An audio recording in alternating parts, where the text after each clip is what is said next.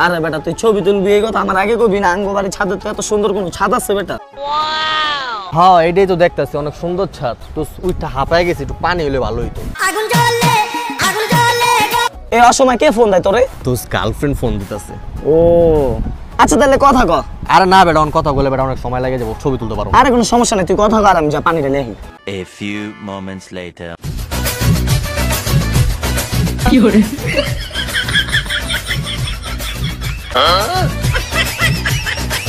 তুই বেটা